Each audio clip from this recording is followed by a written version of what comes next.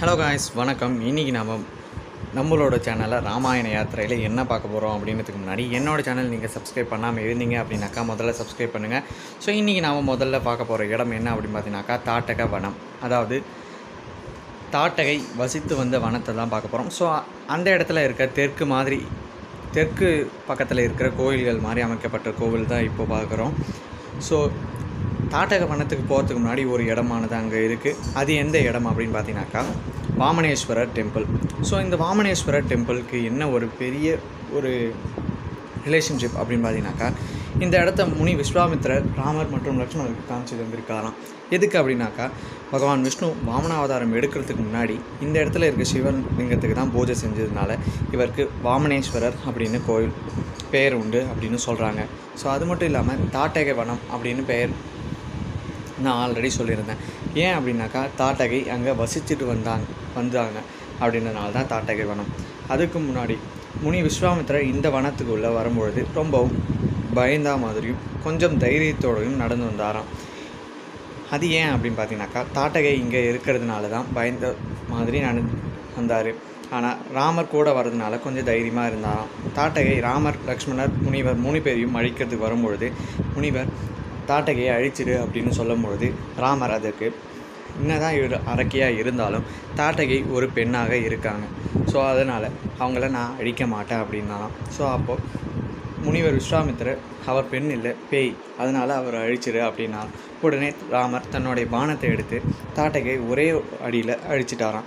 So அந்த தாட்டகை வதம் செய்யப்பட்ட இடமும் தாட்டகை வசித்து வந்த இடமும் இந்த தாட்டக வனம் தான் ஸோ நம்மளோட வீடியோவில் தாட்டகை வனம் பார்த்துட்டோம். ஸோ ரெண்டா அடுத்த இடம் என்ன பார்க்க போகிறோம் அப்படின்னு பார்த்தீங்கன்னாக்கா முனி விஸ்வாமித்திரருடைய ஆசிரமம் தான். ஸோ இந்த முனி விஸ்வாமித்திரரோட ஆசிரமத்துக்கு போகிறதுக்கு முன்னாடி தான் இந்த தாட்டக வனம் அப்படின்னு சொல்லப்படுற பாக்ஸர் அப்படின்ற இடத்துல இருக்குது ஸோ இந்த தாட்டக வனத்துக்கு சரித்திர வனா அப்படின்னு அந்த இடத்துல பெயர் சொல்லப்படுது. ஸோ இந்த தாட்டக வனத்துக்கு போகிறதுக்கு முன்னாடியே ஒரு இடம் ஒன்று காடு மானி இருக்குமா அந்த இடத்துல தான் ராமர் லக்ஷ்மணர் முனிவர் எல்லாருமே ரெஸ்ட் எடுத்தாங்க அப்படின்னு சொல்லப்படுது. ஸோ அடுத்தது நம்மளோட வீடியோவில் பார்க்க போகிற இடம் என்ன அப்படின்னு பார்த்தீங்கன்னாக்கா முனி விஸ்வாமித்திரரோட ஆசிரமம் தான். முனி விஸ்வாமித்திரரோட ஆசிரமம் தபோவனம் அப்படின்னு சொல்லப்படுது. இந்த தபோவனத்தில் தான் முனி விஸ்வாமித்திரர் தன்னோட யாகத்தை நடத்தினார் அப்படின்னே சொல்லலாம். தன்னோட யாகத்தை மாரீச்சன் சுபாகு போன்ற ரெண்டு அசுரர்கள் அதாவது தாட்டையோட புதல்வர்கள் ரெண்டு பேரும் தொந்தரவு செஞ்சிட்ருக்காங்க அப்படின்றதுனால தான் முனி விஸ்வாமித்திரர் தசரத மகாராஜா கிட்டேருந்து ராமர் லக்ஷ்மணரை கூட்டிகிட்டு போய் உதவி பெற்றார். ஸோ அது மாதிரி உதவி பெற்றும் பொழுது ராமர் மற்றும் லக்ஷ்மணர் ரெண்டு பேரும் உதவி செஞ்சதுனால அவரோட யாகமானது நிறைவு பெறுது. ஸோ முனி விஸ்வாமித்திரோட யாகம் நிறைவு பெறதுக்கு ராமர் மற்றும் லக்ஷ்மணர் ரெண்டு பேரும் தான் காரணமாக இருக்காங்க. ஸோ இந்த முனி விஸ்வாமித்திரோட ஆசிரமத்தில் தான் முனி விஸ்வாமித்திர யாகத்தை நடத்தினார். அது மட்டும் இல்லாமல் மாரிச்சன் தப்பிச்சு சென்றும் சுபாகு இறந்ததும் இந்த இடத்துல தான்.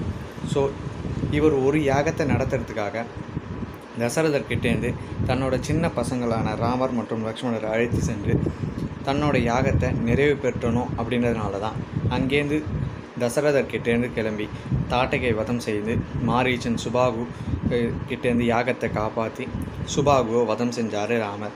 ஸோ இன்றைக்கி நாம் விஸ்வாமித்திரர் உடைய பாதி சுற்றுலாவில் இருக்கோம். மீதி இருக்க சுற்றுலாவை நம்ம அடுத்த வீடியோவில் பார்க்கலாம். ஸோ இன்றைக்கி நாம் கடைசியாக என்ன பார்த்தோம் அப்படின்னு பார்த்தீங்கன்னாக்கா முனி விஸ்வாமித்திரர் தன்னோட யாகத்தை எப்படி வெற்றிகரமாக முடித்தார் அப்படின்றத பற்றி தான் பார்த்தோம். ஸோ இதுக்கப்புறமா ஜானகி கல்யாணம் அதாவது ராமர் மற்றும் ஜானகி கல்யாணம் போன்ற நிறைய இடங்கள் இருக்குது ஸோ இந்த மாதிரி இடங்கள்லாம் நாம் பார்க்கலாம். ஸோ இன்றைக்கி நம்மளோட வீடியோ உங்களுக்கு பிடிச்சிருந்து அப்படின்னாக்கா லைக் பண்ணுங்கள் ஷேர் பண்ணுங்கள் கமெண்ட் பண்ணுங்கள் அது மட்டும் இல்லாமல் மறக்காமல் என்னோடய சேனலை சப்ஸ்கிரைப் பண்ணுங்கள் ஸோ என்னோடய வீடியோ இது வரைக்கும் பார்த்தவங்க எல்லாருக்குமே ரொம்ப ரொம்ப நன்றி. ஸோ அது மட்டும் இல்லாமல் இந்த வீடியோ பார்த்தவங்களுக்கும் எல்லாருக்குமே ரொம்ப ரொம்ப நன்றி கைஸ் ஸோ மறக்காமல் இன்னும் நான் போடுற வீடியோ எல்லாமே பாருங்கள் தேங்க்யூ கைஸ் என்னோடய வீடியோ பார்த்தவங்களுக்கு நன்றி. Thank you guys bye